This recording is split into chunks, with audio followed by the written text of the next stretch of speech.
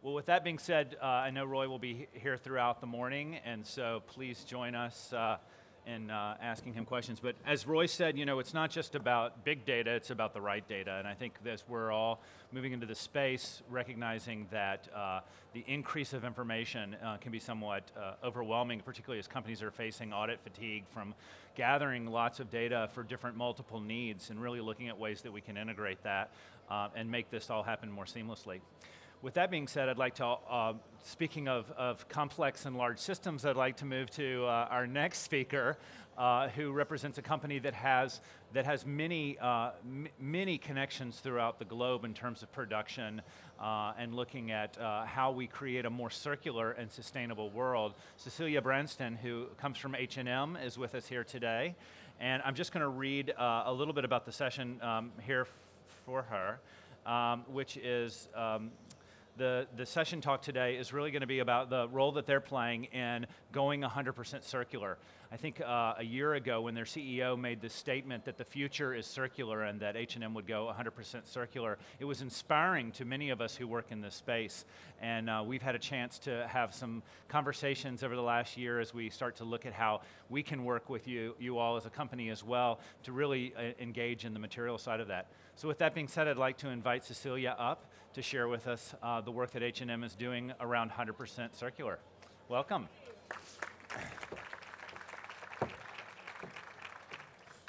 Thank you. Uh, can you hear me well? Uh, encantada de estar aquí. I'm honored to be here in Barcelona today at this Circular Economy European Summit with such a great crowd, such great speakers. Thank you, Roy, for starting today in such an inspire, inspiring way. Uh, so what I would like to do today is to invite you to, to our 100% circular journey. And this is actually the way and the journey that we believe is the only way forward towards a more sustainable fashion future. So let's see if I can get the techniques to work. So even though we're in Inditex country, I guess you might have heard of us. Uh, we're H&M. We're the second biggest fashion retailer in the world after the previous mentioned Inditex, actually. And yes, we are present in more than 62 countries. Uh, we have more than 4,000 stores, a lot of employees, as you can see, 150,000 at least. And, uh, but what you might don't know is that we are actually a group of brands. So we also have other brands than the H&M brand. So it's COS, you might have heard of, and other stories. Cheap Monday, Weekday, Monki, and H&M Home. So we're actually a group of brands, and that's also, of course, one reason to why we have so many stores. So, at H&M we have a long history working with sustainability. In fact, we started already in the mid-90s uh, with our code of conduct, our chemical restrictions, our first organic cotton garments, and also, I think, looking at where we are today, we have come quite a long way uh, comparing to where we were back then. Um, and also, sustainability is actually embedded in our business idea to provide fashion and quality at the best price in a sustainable way. So basically, we want to make fashion sustainable and sustainability fashionable. Can you see me back here? I think I'm, I'm almost too short for this, but I have heels today, so I'm longer than, than normal. But is the fashion industry sustainable today? What do you say? Any guess? No, it's not. And of course, the fashion industry, as many other industries, we face a lot of challenges. Uh, I think I read that the fashion industry is the second most polluting industry in the world after oil. I'm not sure if that's true, but anyhow, we have a lot of challenges. And I think common for these challenges is that we as a company, even though we're big, we cannot solve it on our own. So we need industry to join, and we need a systemic change in the way that fashion is made and used. So today I will focus on, on one of the major challenges I think that the fashion industry has, and not surprisingly, perhaps in the Circular Economy Conference, it's the challenge of resource use. So, the fashion industry, no, sorry, too quick. Uh, I think I know I'm preaching to the choir here, and I will not spend too, man, too much time on, on telling you about the why we think this is an important challenge. But I think what I want to is really bringing this challenge to the fashion industry and tell you a bit about the context in the, in the fashion industry. So we heard Ellen yesterday talking about the world's resources and that they are ultimately finite. And that's, of course, also uh, the, the status in the fashion industry. So I think 85% almost of all the raw material that we use uh, is either polyester or cotton. And in the case of polyester, it's quite obvious, it's an, it's an oil-based material. And in the case of cotton, it's not only a really water-intense and chemical-intense crop, it's also depending on a finite uh, land mass, a land mass that perhaps should be needed for something else. And at the same time, we use these resources very, very unsustainable. Uh, so I think out of the 90 million tons of textiles produced each year, more than half of it ends up in landfills. And looking at, from a national perspective, I'm from Sweden. Uh, we throw away 8 kilograms of textile per year in Sweden out of the 15 kilograms we consume. And only 3 kilograms is uh, collected, and mainly then for reuse. And I think looking at the global perspective, we have even a, a, higher rate that goes to landfill. But in the UK, they're a bit better actually. They only 30% goes to landfill. But still, it's a lot of resources that could have been used for reuse and recycling. So it's a very unsustainable resource use, and it's a very linear model.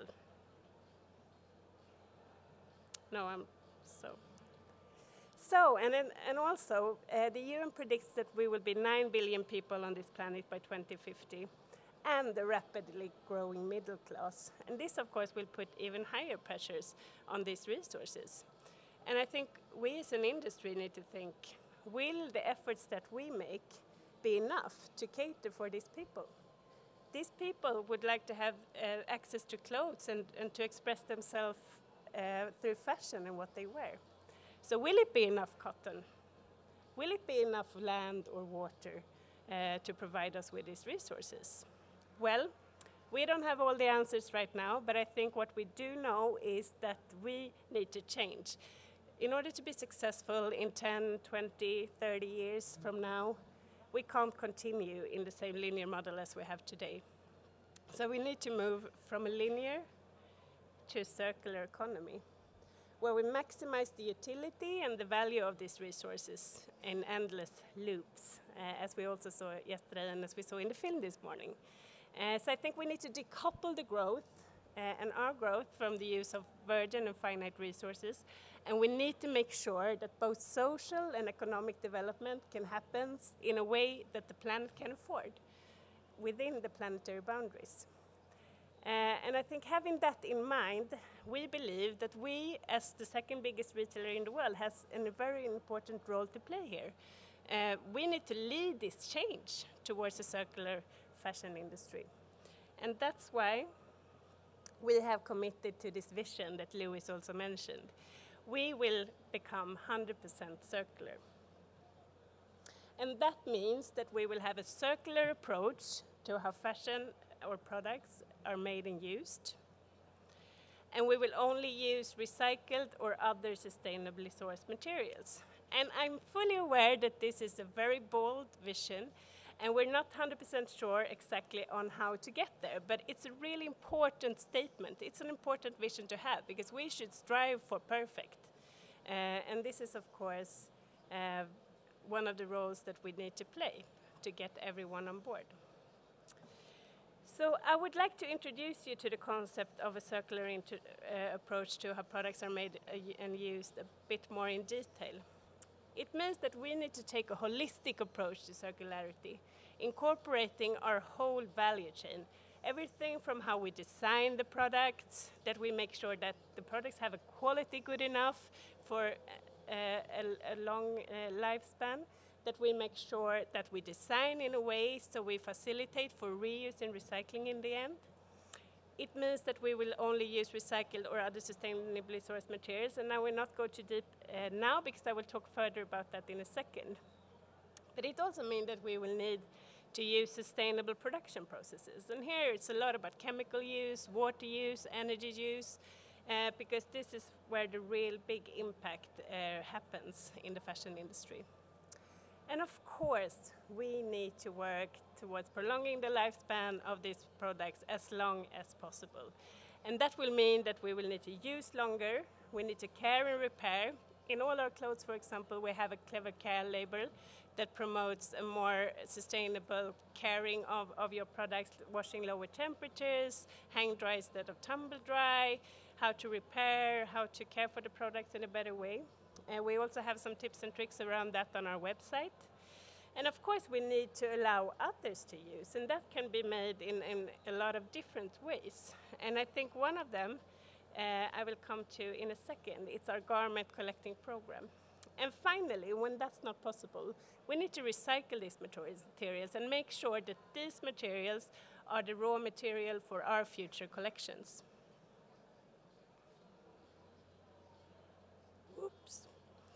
So, the H&M garment collecting program. How many of you knows about this?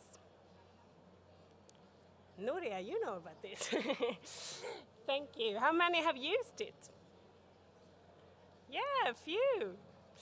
Well, I think we've been doing this for quite a while now. Uh, we started back in 2013 to collect clothes and home textiles in all our stores worldwide, and we collect independently of brand and independently of condition for reuse and recycling, and of course following the waste hierarchy and prioritizing reuse.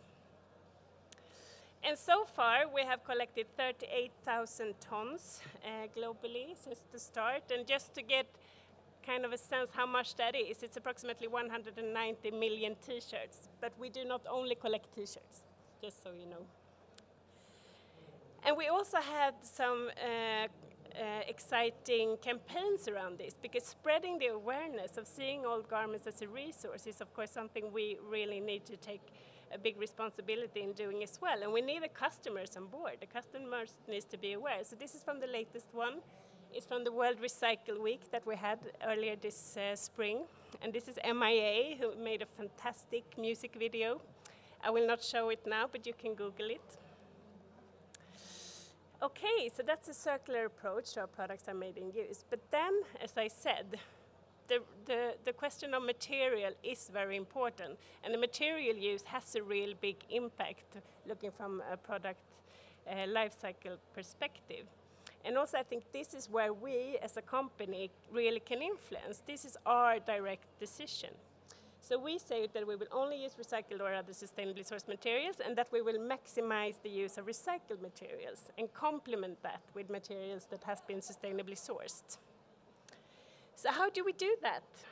Well, we have uh, a cotton goal. Uh, we had it since, since 2010. Uh, and we say that by 2020 we will only have sustainable cotton in our value chain. And cotton is our biggest and most important material today. And that means better cotton, recycled cotton, and uh, organic cotton. And already we're one of the biggest users of organic cotton in the world. But of course, we use other materials as well. And today, or last year, 2015, we used 20% uh, sustainable materials in our value chain. Uh, and I think we are big here as well. We are the second biggest user of recycled polyester in the world, we're the second biggest user of Tencel, the first biggest user of responsible down. So we do a lot here, but we definitely need to do more because we need to reach to 100%. And that's of course a challenge. But I think having our conscious products, our conscious collections in stores, our conscious exclusive collection is a way for us to make the, to, to scale this and to make this happen in a quicker way. Uh, we're also very proud of our denim reborn collections, our closed-loop denim collections. Uh, and here we use recycled cotton that comes from our garment collecting program. So it's, uh, it's uh, post-consumer waste, recycled cotton. Uh, and we had several collections and we continuously have products in our stores. So look for the green hang tag saying recycled cotton from collected garments. And just to, say, to show that we have also made an LCA of this recycled cotton that we use. And here you really can see that using recycled materials has a big environmental impact. Here we show the impact for water usage and, and climate, uh, use, uh, climate impact. But to reach to 100%, of course, we are depending on innovation. But we also have a responsibility here to actually drive that demand and, and to drive this innovation and accelerate this innovation if possible. So therefore, we have uh, we're we are working with this in a lot of different ways. We we work with Lewis and, and Fashion Plus, for example. Uh, we also have invested in a company called Worn Again, who works on re chemical recycling technology on for polyester and polycotton blends. Uh, the H&M Group has invested in Sellpy, it's a Swedish company promoting reuse, uh, and they are selling the goods you don't want on the Swedish version of eBay. So that's also a way that we work on, on, on trying to make this happen through innovation and innovative uh, business models. And then, last but not least, we have the Global Change Award, and that's it's actually the H&M Foundation. But do you know about the Global Change Award? Well, at least some of you. No one have applied? Well, the Global Change Award is an award uh, for uh, disruptive innovation within the field of circular materials, circular business models, and circular production processes.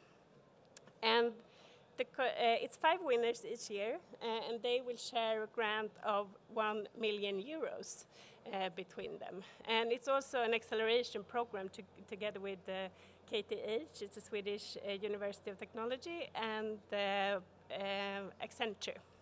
And this year we had 2,900 contestants, almost from 130 countries. So it's really big and really uh, amazing.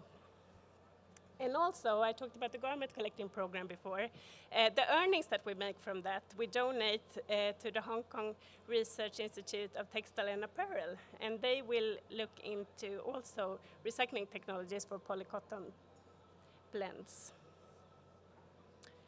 So, to sum up, I have eight more seconds. Uh, I think we believe that circularity will be the key uh, to, to our future success. And we as a company have an important role to play there uh, because we believe that we can lead the change towards the circular uh, resource model of fashion. But we need everyone on board to do this. We cannot do it alone. So collaboration is also, of course, super import important. So let's, let's uh, join our efforts towards a more sustainable fashion future. Thank you. Thank you. Thank, Thank you. you, Cecilia. And Thanks. you'll be pleased to know I got the app working. So we do have some good questions. Oh, good. Shall we maybe um, step over to Yeah. the chair for a moment and, and take a few of these? How much time do you all want us to have for questions so I can moderate any? All right, we're going to put the time up there that you want and we'll, uh, okay, you've got that.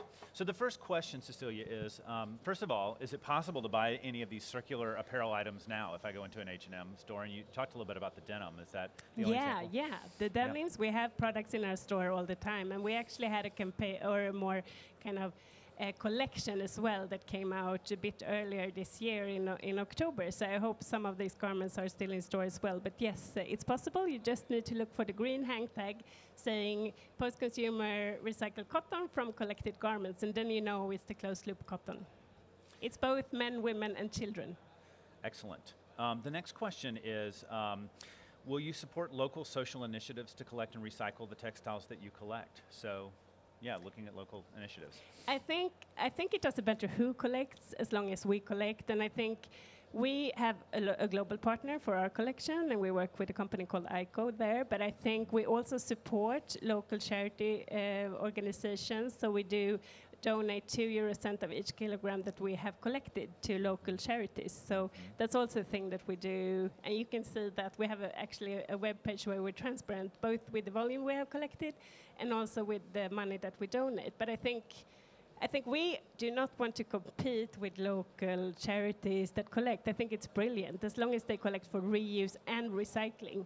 Uh, so no clothes gets incinerated. I think it's a joint mission. But of course, we want to make it easy accessible for our customers uh, to use uh, or, or to, to have a place to leave their old garments. So therefore, I think it's important for us to do it all countries, all stores, Right. And all the- year round. And the more demand there is coming from big retailers such as H&M, the more cottage industries can pop up and su- Yeah, I think this. it is a transformation of the industry. So the, the textile sorters, they need to be the new suppliers of, of our, our fiber producers. And, and that's a journey that we've started with our closed loop cotton, but it's a journey that will probably take some time because it's, it's about changing the way the sorter sorts, it's, it's about changing the way our supply chain source. Uh, and of course, we need technology to, to make that happen as well. Yeah. Okay, the next question I think is really good because it gets at the heart of the business model that not just companies like H&M are facing, but really anyone uh, that wants to enter the circular economy. Um, so recycling requires investment, as we know, and also if we're proposing a longer longevity around clothing, it could potentially mean fewer sales. So how does H&M approach embracing circularity in this new circular economy, but also looking at your current business model and it, that it supports increase in sales? I think uh, it would be a need for fashion. I talked about the increased population in the mm-hmm. future. Everyone will need clothes, but as I said, we need a circular approach to to make this happen. Mm-hmm. Uh, and I think for us, of course, it's important to offer this sustainable uh, fashion to everyone. I think we might want to make this available for everyone, and I don't think it should be a niche product with to a higher price that only a selected few can have. So I think it's, it's just important that we make sure that we provide this fashion in the most sustainable way and in a circular way. Mm-hmm. So um, an- another question I think is good because your commitment is to circular materials and or sustainable materials, and so looking outside the breadth of that, can you talk a little bit about what you all think about in terms of reduction of water, energy, or chemicals used in the dye process? Of course, it's super important, and that was actually also part of both from a raw material perspective and from a production process uh, perspective. I think all our materials we measure and evaluate from a life cycle perspective, and also we need kind some kind of third-party verification that these are actually better than the conventional alternatives. So LCA is the made by fiber benchmark, or the Higg, uh, Index uh, MSI could be, or, or cradle to cradle fashion positive material library could also be ways of for us to ensure that the materials we are using are better from all these perspectives. And that's mm-hmm. also one of the reasons why I showed you the LCA we made on recycled cotton. Because here you really can see that it has a big impact. And of course, we need those kind of proofs. And whatever we call a recycled or sustainably sourced materials will be an evaluated material that we see is better and also that the third party verifies better. Mm, great. And then um, I touched on it a minute ago with sort of longevity, but as you all uh, look at some of the big models out there around shared economy, circular economy, but also the, the concept of making clothes last longer, is that something that you all are going to advocate for as well? I think quality has always been a really important thing for us. It's even part of our business idea, and, and for some of our brands have taken it even longer, like COS, for example, which really provides uh, longevity in everything they do.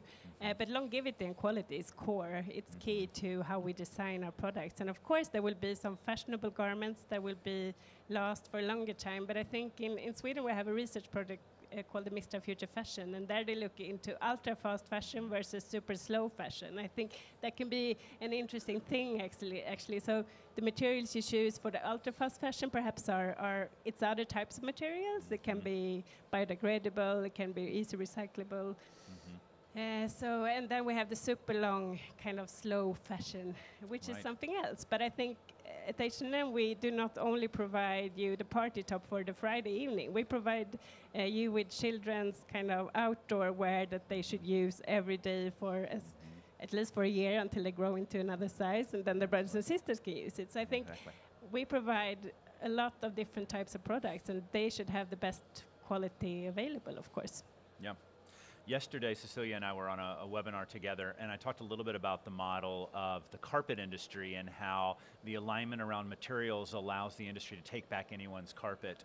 Is H&M already taking back other apparel if it ends up in the bins? Are you looking at partnering with other um, retailers around taking back common materials? I, I, think if I understand your question correctly, we collect independently of brand and we also collect home textiles. Mm -hmm. But of course, uh, our partner ICO, they works with a lot of different brands and I think we're in the C100, we talk to Nike about collections, I think we talk to local charity organizations and we will do some like campaigns together and stuff like that. So I think, as I said before, it's just important that we get this material into the circular system, and then it doesn't matter if it's us or someone else who collects it. That's right, and, and as you mentioned, that the Retex committee work is looking at multiple brands, um, yeah, looking yeah. at mechanical so we recycling do together. collaborate a lot, and we, like for finding these kind of recycling technologies, we work with the Circular Innovation Group uh, that the Fashion Positive is running. So we do collaborate a lot already, of course, uh, within this Yeah. field. Okay, we have qu- time for one last question. So this, I'll end this one with one that's a little bit future thinking, but what about production as a service model? I mean, could you see H&M ever getting to, or have you talked about looking at apparel as a service as opposed to ownership? I think I think in the future there will be different ways uh, to consume, and of course we need to be on that uh, train. Uh, Yeah. And and I think it's it's also demand driven, of course. What does the customer want? But of course we think in this, like how do we make sure that we are still there in, in 10 years? If that means that we need to rent out some clothes, perhaps that. We will do that. But I, I, I think there will be a lot of different ways of consuming and a lot of different ways of, of providing with this fashion. And yeah, we will just find the right way for us That's to great. do it. That's great. All right. Well, Cecilia, thank you Thank so you. much for speaking today.